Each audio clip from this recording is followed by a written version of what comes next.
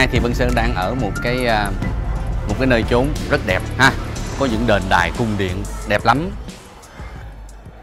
Bởi vì khi đến với Thái Lan chúng ta có rất là nhiều chỗ đi thăm viếng, nhưng một cái nơi mà phải đến đó là Grand Palace. Chúng ta đến đây để chúng ta thăm viếng một cái nơi mà hầu như tất cả du khách đến Thái Lan đều đến đây hết. Lý do tại sao vậy? Bởi vì nơi đây là một cái nơi cung điện dành cho vua ở. Và những cái cung điện những đền đài cổ xưa nó rất đẹp và rất tiêu biểu tượng trưng cho cái nền kiến trúc của Thái Lan. Đẹp lắm. Thành ra khi mà chúng ta đến Thái Lan chúng ta nên ghé Grand Palace. Grand Palace mở cửa từ 8 giờ sáng đến 4 giờ rưỡi chiều. Nhưng à, nếu mà chúng ta đi qua khỏi 3 giờ rưỡi đó thì sẽ không còn bán ticket nữa ha. Thành ra chúng ta dành thời gian sớm đến sớm ghé Grand Palace để chúng ta đi cái nơi này. nó to lắm, nó lớn lắm.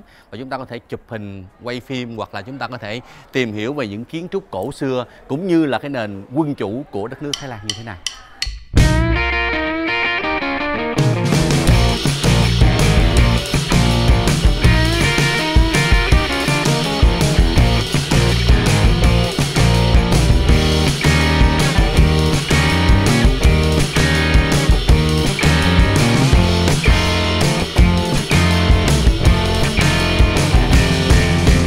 Vào đây đó thì à, ngoài mình xem những cái nơi đền đài chùa chiền những di tích cổ xưa ra mình còn được ghé thăm cái nhà một cái một cái tòa lâu đài mà vua Thái Lan đang ở đó là ở ngay sau lưng chúng ha, đẹp lắm.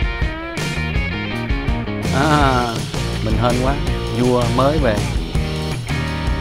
Đó là cảnh mà tất cả những à, cái viên sĩ quan an ninh ở đây họ đón vua về đó à, có xe à, đi trước rồi bắt đầu cái có xe đi sau là vua hoặc là những người trong hoàng tộc họ đi về.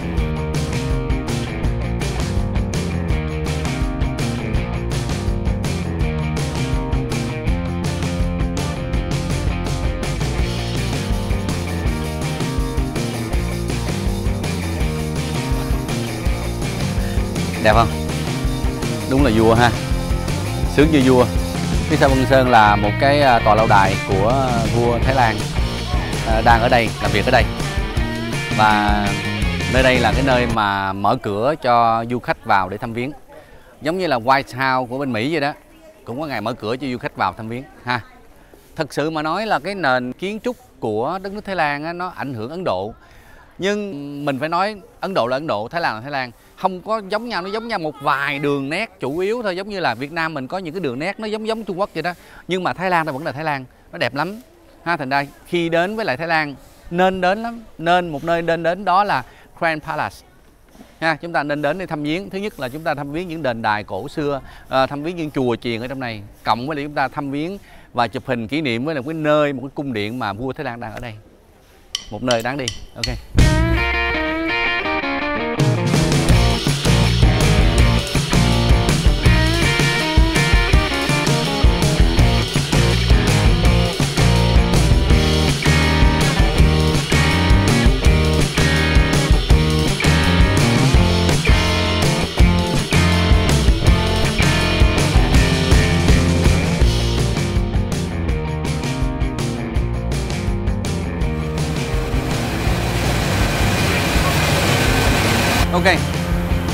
Đây là hạt dẻ nè ra ngay tại chỗ luôn. Cái này nó đặc trưng lắm. Đi ở trên con phố tàu ở ờ, bangkok á, là rất là nhiều cái chàng bán hạt dẻ như vậy. Bây giờ mình thử mình mua ha. Một ký là 280 bạc nửa ký là 140 bạc. Có nghĩa là một ký khoảng chừng ờ, uh, 10 đô. Ok. Nè. Yeah.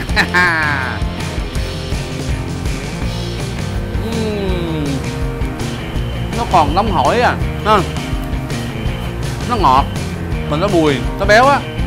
Nó ngọt nó béo. Nó bột đã lắm. Ừ, ngon quá. Làm cái nữa cái nữa cái nữa. Nè.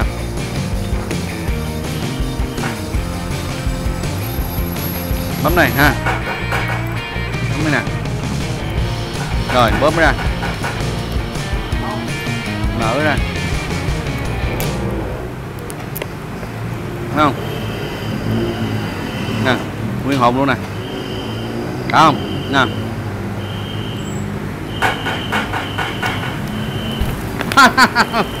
ngon lắm. Cảm ơn khắp thank you. Thank you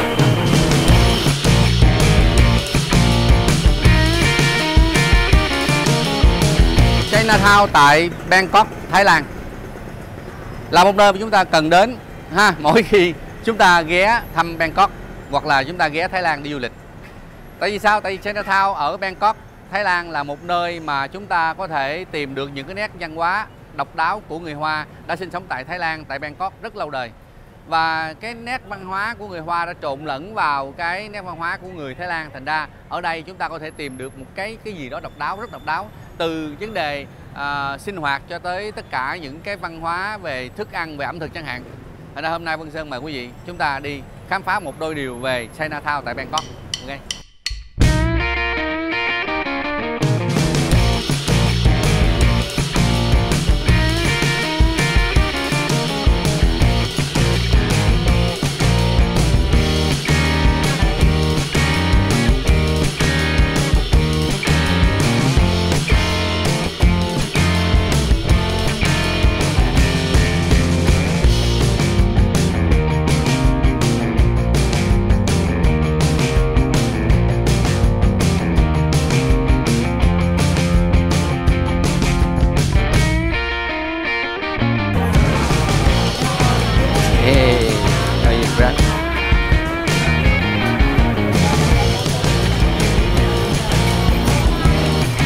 Nó có những con đường như thế này ha. À, Toàn là thức ăn không? Chinatown thì tiêu biểu nhất của người Hoa là mì đúng không? Đó, mình ăn mì nè. Mì này là mì vịt ha, thường thường á, ở à, bên Việt Nam mình á, hay là ấy mình ăn mì vịt tiệm gì? Cái này cũng một loại mì vịt tiệm nè Nhưng mà cái tiệm của nó khác ha. Cái tiệm của nó là wow.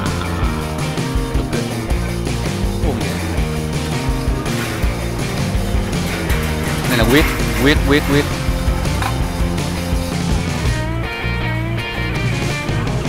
ok ok, good.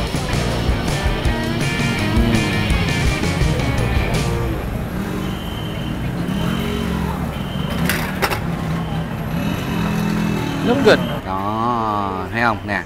Thấy không, đẹp không? Ngon không? Nhìn hấp dẫn không? Ui, trời. lâu lắm rồi mới ăn lại nó. Nha. Uhm. con mì nó dai, nó mịn màng, rất là ngon luôn ha. Nè. Này, miếng gan nè. Miếng gan nữa nè. Uhm. nó béo ngậy luôn á. Đã lắm.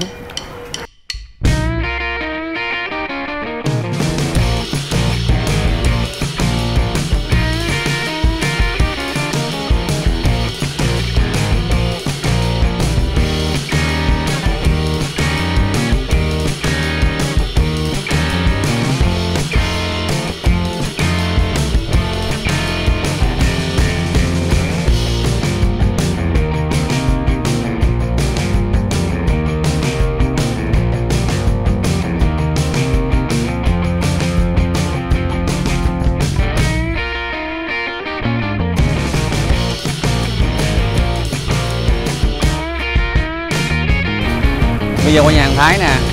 Ha, băng qua con sông. Đây, rất đẹp luôn. Qua bên kia là có một cái nhà hàng Thái. Nó ờ, trực thuộc của cái khách sạn được gọi là Oriental Hotel.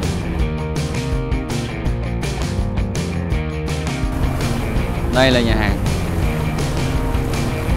Wow cặp bờ sông luôn. Nhà hàng này dễ thương không? Quá dây đường phải không?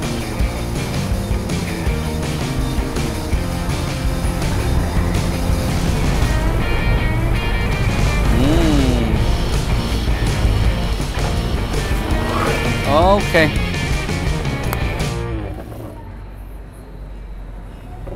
Rồi.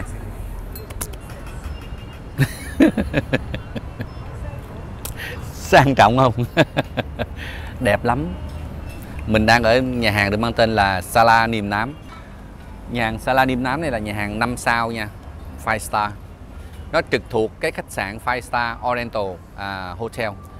Và muốn đến nhà hàng này đó một là mình đến Oriental Hotel xong xuôi mình sẽ đi đi boat qua. Mình sẽ đi à, mình đi boat qua ha. Hai là những khách sạn vòng vòng đây nè họ sẽ send khách qua bằng bằng bằng tàu. Và có một cách nữa là mình đi đến bằng cái cổng chính của nó ở ngoài kia đi bằng cáp hay là đi bằng gì đó nhưng mà nó giống như là ở ờ, quận 2 vậy đó mình phải băng ngang cầu để mình chạy nên nó bắt công lắm. Thành ra mình cứ tới bên kia bờ sông những khách sạn bên kia mình nói ok qua bên nhà hàng Sala Niêm Nám là họ có cái tàu họ đưa mình qua bên này. Nhớ là phải booking trước đặt bàn trước để mình được cái chỗ đẹp như thế này ha. Mình có ba bốn à, tầng ở đây rồi ở phía trong là nó có cái nhà hàng ở trong có máy lạnh ở trong. Hàng đêm từ 7 giờ tới 9 giờ có đội văn nghệ diễn trong đó nữa đã lắm à, nhưng mà Vân Sơn thì lại thích ngồi ở ngoài này hơn. Mình hưởng cái không khí thiên nhiên ha. Sát bờ sông. Và đặc biệt là cái nhà hàng này đó là là một trong những nhà hàng mà bán đồ traditional Thái Lan ngon nhất của thành phố Bangkok ha. Five star sang trọng và ngon nhất. Thành ra đến với Thái Lan chúng ta có thể đi ăn những nhà hàng dùng gian chút xíu cũng ngồi sát bờ sông cũng đẹp cũng hưởng thụ tất cả những không khí thế này thế kia. Và ngược lại chúng ta cũng có thể đi đến những nhà hàng năm sao như thế này cũng ngồi sát bờ sông. Tối hôm qua khác tối hôm nay khác liền ha. Đặc biệt là dọc con sông này nè có những cái cái cái tàu có những cái bốt mà lên đó để ăn uống. À, rồi đi nó chở mình đi một hai tiếng trên con sông của Thái Lan như thế này. Ha nhiều lắm ở Sài Gòn mình là một vài chiếc thôi đúng không? Ở đây ngồi hồi nãy giờ là mấy chục chiếc rồi. Nó chạy qua chạy lại chạy qua chạy lại. Mỗi một chiếc là một tên khác nhau. Nè Chaubaya Princess này á, hồi nãy giờ cái chiếc này là cái chiếc là Chaubaya Princess số số 5 nè. Mình có từ số 1, số 2, số 3, số 4, số 5 rồi nãy số 6, số 7 nữa. Một cái tên không á, mà nó có chục chiếc vậy đó. Một cái tên không mà có chục chiếc giống vậy chứ không phải là ít. Ok. Nó thành ra đến với Thái Lan buổi tối nên đi ăn uống những thứ như thế này. Vân Sơn đặt đồ ăn rồi.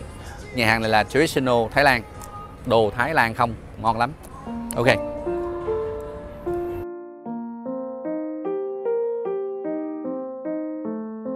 Dạ dạ dạ. Hấp dẫn quá hấp dẫn quá. Hấp dẫn quá bà con ơi. Đây nè. Hấp dẫn quá nè bà con. Nè ok. Đây là curry fish cake nè. Đó ngon chưa? Ha? Wow, ui xa ơi good vô cùng luôn. Chả cá. Còn đây là gỏi.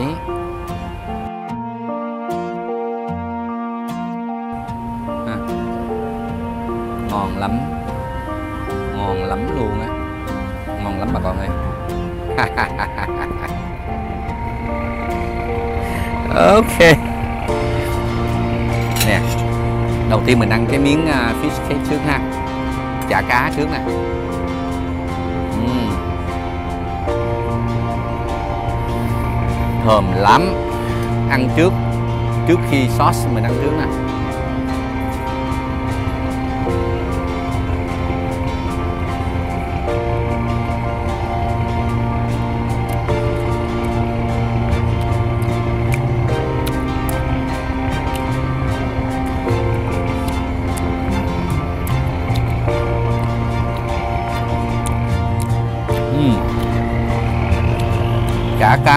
Nói rồi ha.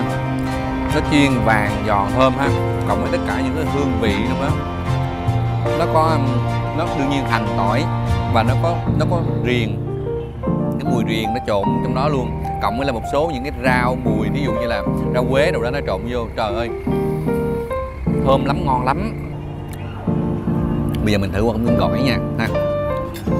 Gỏi nè, xoài nè gỏi thì vẫn sẽ nghĩ là mình phải trộn lên đi ha. Mình trộn lên để cho nó ngon nha. Trộn lên cho nó đều nè tại vì nó có để nước mắm nữa dưới á. Đây là tôm nè cua nè đây là cua nè. Đây là crab nè. À, cua này là cua con cua lộn nha. Cua lộn nè ha xoài nè ha. Cua cha ơi cua lộn nằm dưới nè. Cua nha. Không có cái gì sướng cho bằng mình ăn được cái món ngon ha mà mình thích. Nó đã quá. Đây nè. Đây là nguyên một miếng cua luôn nè.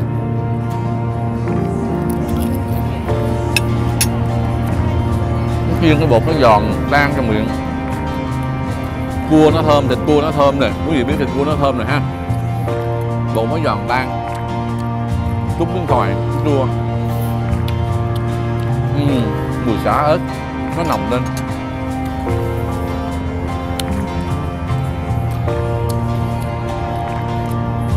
Tuyệt kiêu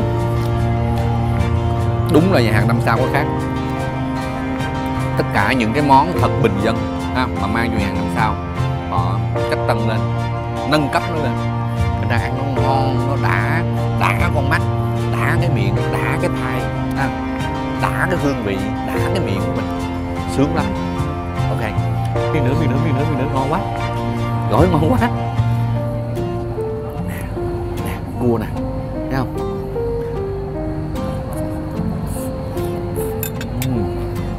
Uhm. rồi nè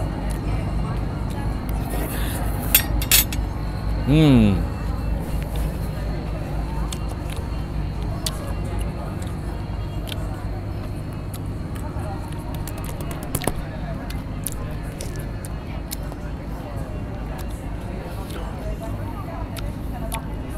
ngon mà thấy sướng luôn steam karupa with chili lamb sauce. okay chili lamb sauce. Đây là con cá mú chân à, sauce là ớt chanh với lại à, ớt với chanh. Cái sauce đó là ớt với chanh ha. Chili lamb sauce.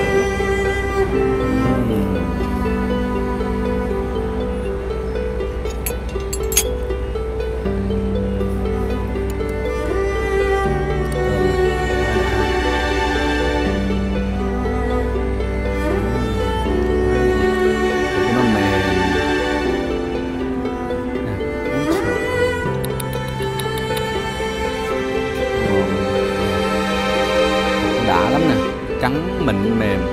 Đây là con cá mú. Cá mú nó chưng theo kiểu thái lan là nó chưng um, chanh ớt nè. Sốt chanh ớt nó sẽ rất là chua mặn và nó cay ha. Sốt của chanh với ớt. Lem chili sauce. Nè.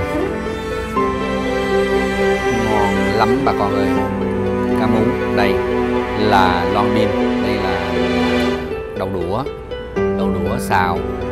À, theo cái kiểu của Thái Lan xanh tươi và đặc biệt là Thái Lan nó xào nó hay để trứng vô nè. Giống như mình ăn cái gì đó mình ăn bạc thai đó hủ tiếu xào Thái Lan đó nó cũng để trứng vô nè thấy không? Mình ăn người Thái Lan mà xào hay để trứng vô ha. À Việt Nam mình xào à, gì đó? Hủ qua hủ qua xào với trứng nè đúng không? Cũng đúng mà. Xào trứng cũng đúng mà hủ qua xào với trứng nè hoặc là mình ăn cái gì đó mình xào với trứng ha. Cái nào mình cũng hay để trứng vô lắm nè. Đúng không? Nhiều thứ để trứng vô lắm. Ok thôi giờ mình thưởng thức nha ok, đây là cơm trắng. Cơm trắng là một món không thể thiếu. Cái hay của bên Thái Lan á là cái gạo của Thái Lan á, nó sản xuất ra và nó, cái thương hiệu gạo Thái Lan nó vẫn là đứng đầu trên thế giới. Tại cái hạt gạo của nó ngon, nó thơm mà nó dẻo lắm. Gạo Việt Nam mình không làm sao bằng được hết trơn ha, lạ quá. Bây giờ mình lấy một cái miếng miếng cá này ha, mình chấm nước sốt vô, đậm nước sốt vô.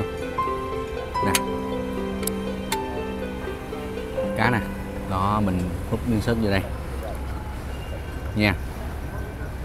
Cái này nó sẽ đậm nước sốt nè.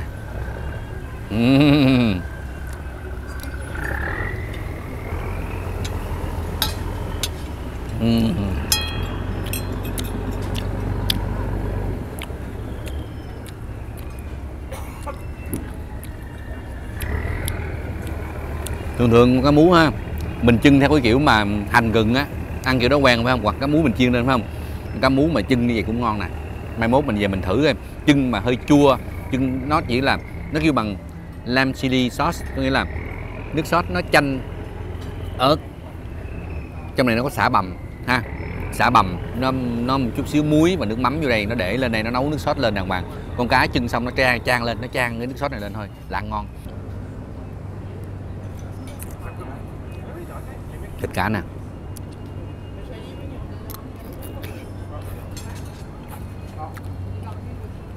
Ngon quá.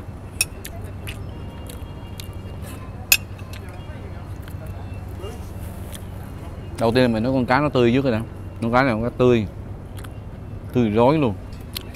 Cái thịt nó dai, thơm. Con cá mà, con cá mà không có tươi mình ăn biết liền. Thịt nó bở, mà nó không có được thơm, nó không có được thơm và không có được dai như vậy. Đậu đũa xào với lại à, à, cái cái cái sốt đặc biệt của Thái Lan, ha. Theo kiểu Thái Lan. Thơm. Thứ nhất là thơm mùi đậu đũa. Thứ hai là nó thơm mùi trứng, tỏi đương nhiên.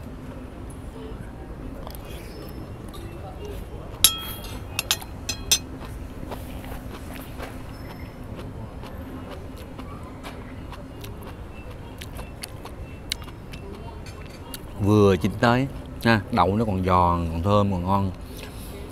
À, trong cái này, trong cái này hình như nha, hình như nó có để cua trong này. Hình như có cua, thịt thịt cua trong này nè. Nó có thịt cua và trứng trong này. Nè.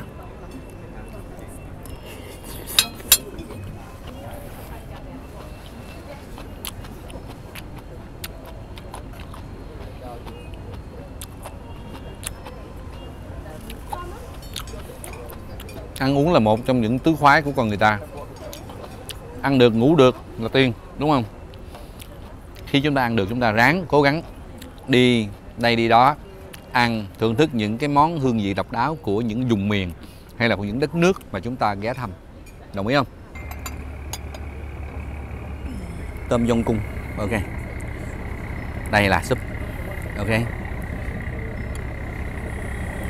Canh chua thái. Nấu với lại tôm. Ha. Ok nè, thử miếng nước súp trước nè. À. Ngon quá canh chua thái ngon quá.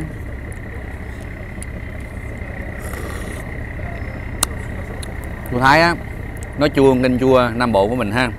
Và nó nó cay và nó chát hơn tại vì nó có riềng nó có riềng nó có xả trong này. Canh chua nam bộ mình á thì uh, cay chua và ngọt ba cái nó cân bằng với nhau. Nhưng canh chua thái á thì nó chua nó chát và nó cay nồng. Độ mặn nó có độ ngọt nó ít hơn canh chua miền nam bộ một xíu thôi bây giờ nhìn thế này. À, à, Vân Sơn sẽ cố gắng. Trong những chuyến Vân Sơn à, đi chơi hoặc đi công tác thì Vân Sơn cố gắng Vân Sơn quay như thế này để à, hầu cho quý vị những cái kinh nghiệm của Vân Sơn mà Vân Sơn đã đi qua những đất nước đó. Mong là quý vị thích và quý vị sẽ à, subscribe channel của Vân Sơn. Ha Vân Sơn sẽ cố gắng làm thật nhiều clip như thế này để à, gửi đến cho quý vị xem hàng tuần nha. Ok I love you. Bye bye.